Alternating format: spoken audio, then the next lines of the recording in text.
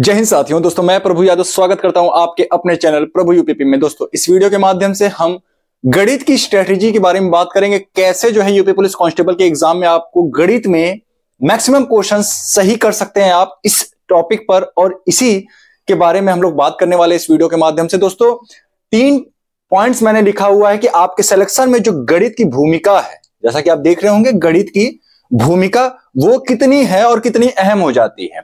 बिना गणित पढ़े क्या सिलेक्शन हो सकता है? ऐसा प्रश्न आप ही लोग पूछते रहते हो। और ये जो भी टॉपिक मैं यहाँ पे लेकर के आया हूँ, ये आप ही के लिए है और बहुत महत्वपूर्ण है दोस्तों। तीसरा जो है, केवल इन तीन टॉपिक्स को पढ़ करके आप 10 से ज़्यादा प्रश्न सही कर सकते हैं यूपी पुलिस कांस्टेबल के एग्ज़ाम में। और ये मैं ऐसे नहीं कह रहा, मैं बारी बारी करके सभी पॉइंट्स में मैं बात करने वाला हूँ। वीडियो प्रारंभ करूँ, इससे पहले मैं आपसे रिक्वेस्ट करता हूँ कि अगर आप चैनल पर नए हैं तो चैनल को सब्सक्राइब कर ले और वीडियो को लाइक करके वीडियो को शेयर कर दे और उसके बाद मैं अपना वीडियो प्रारंभ करने जा रहा हूँ।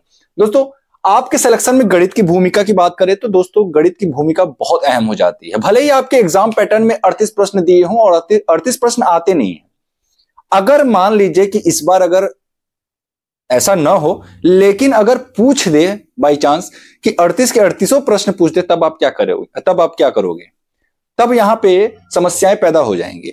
अब इसके लिए आपको पहले से तैयार रहना पड़ेगा। ज़रूरी नहीं है कि पिछला जो एग्ज़ाम पैटर्न हो वैसा ही पूछा जाए। क्योंकि एग्ज़ाम पैटर्न में तो अड़तीस प्रश्न दिया हुआ है। आप ब्लेम भी नहीं कर सकते। आप उसके खिलाफ जो है कोई एक्शन भी नहीं ले सकते या फिर आप, आप आपत्ति भी दर्ज नहीं करा सकते। क्योंकि एग्ज़ाम पैटर्न में तो ऑलरेडी अड़तीस प्रश्न दिया हुआ है। वो अलग बात है कि अड़तीस प्रश्न नहीं पूछा जाता है। है ना? पिछले एग्जामों में भी अड़तीस प्रश्न नहीं पूछा गया, केवल 18 से 20 प्रश्न ही पूछे गए हैं। लेकिन हम मान करके चलेंगे कि मैक्सिमम क्वेश्चन जो है पूछ सकता है। हमारी तैयारी उसी लेवल की होनी चाहिए, ठीक? चलिए, ये हो गया गणित की भूमिका। दोस्तों, गणित की भूमिका सबसे ज़्यादा इसलिए अहम हो जाती है क्योंकि अगर आप इस समय थोड़ा सा मेहनत कर दें गणित में तो आपके नंबर सिक्योर हो जाते। हैं अगर मैं आपसे बोलूँ कि आप करंट अफेयर्स स्पीडी बुक का पूरा करंट अफेयर आपने पढ़ डाला है। और उसके बाद मैं कहूँ कि आ, क्या आप जो है सभी क्वेश्चन सही कर सकते हैं करंट अफेयर के? तो आप कहोगे सर ये तो वही बात हो गई कि हाँ अगर किस्मत अच्छा रहा क्वेश्चन पढ़ा हुआ अगर आ गया फंस गया तो ज़रूर सही हो जाएगा। लेकिन गणित के साथ ऐसा नहीं है। गणित के साथ ऐसा नहीं है। अगर आपने पढ़ा है अगर आपने टॉपिक सही से क्लियर किया हुआ है तो आपका क्वेश्चन नहीं फंसने वाला और बाकी विषयों में ऐसा नहीं देखा जाता है। बाकी विषयों में ऐसा है कि अगर आप पढ़े हो, अगर फंस गया तो ठीक ठीक। मैथ और रीजनिंग ये प्रैक्टिस वाली चीज़ें हैं। और मैथ में मैं बता दूँ कि अगर आप इसको अच्छे से लगाते हो ना तो आपका एक जो कॉन्फिडेंस होता है ना, वो बूस्ट होता है एग्ज़ाम के प्रति। ठीक है?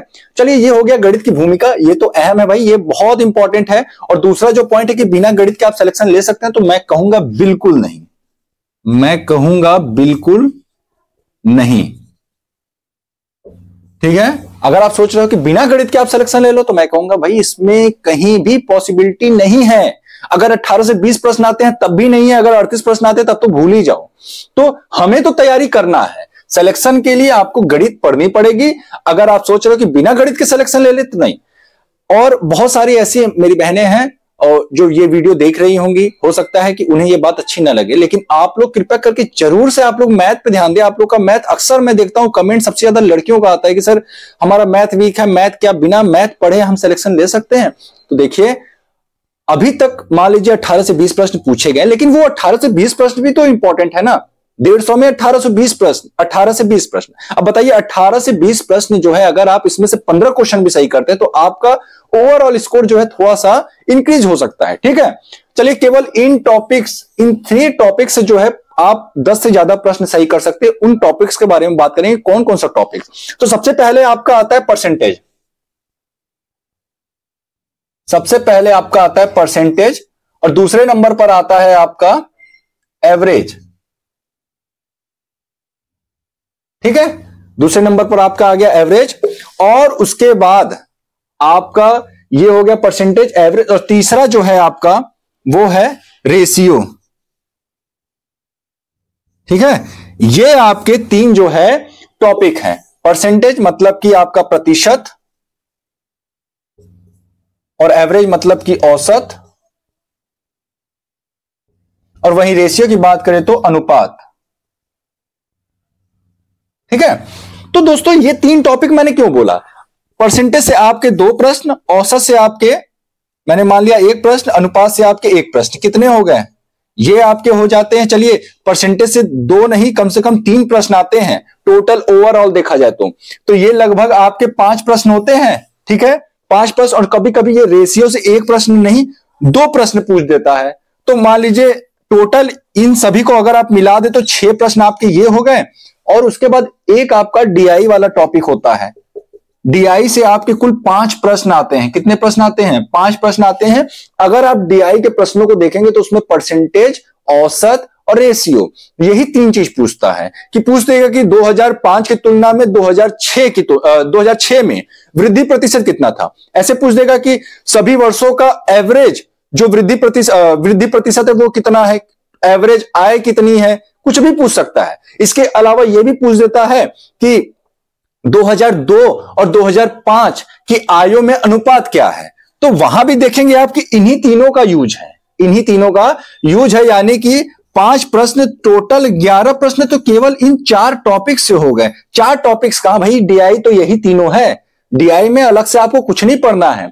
इन तीनों को अगर आपने क्लियर कर लिया तो डीआई समझिए। क्लियर हो गया और डीआई के ये पाँच प्रश्न बहुत महत्वपूर्ण होते हैं, बहुत आसान आसान से प्रश्न आते हैं। और दोस्तों, सबसे पहले मैं एक चीज़ और आपसे बता दूँ कि जिन बच्चों ने अभी तक हमारे मैथ के क्लासेस को नहीं देखा है तो इस चैनल के प्लेलिस्ट में जाएँ और वहाँ पे आपको गणित की क्लासेस मिलेंगी। परसेंटेज जो है, आप लोग ज़रूर पढ़िएगा। परसेंटेज बहुत इंपॉर्टेंट है। Simplification, percentage, work and time और भी बहुत सारे टॉपिक्स हैं जिनको मैंने कवर कराया हुआ है, उसको आप सभी ज़रूर देखें। बहुत महत्वपूर्ण क्लासेस मैंने लिए हुए हैं। उसके बाद जब आप आगे बढ़ेंगे और जब डीआई को लगाएँगे तो आपको चीज़ें बहुत अच्छे से समझ में आएँगी। तो दोस्तों, ये रहा हमारा आज का वीडियो उम्मीद करता हूँ आपको इस वीडियो के माध्यम से एक सटीक जानकारी मिली होगी जो कि आपकी सिलेक्शन में अहम भूमिका निभा सकती है। तो दोस्तों, फिर मिलते हैं किसी अन्य वीडियो के साथ। तब तक के लिए जय हिंद, जय भारत।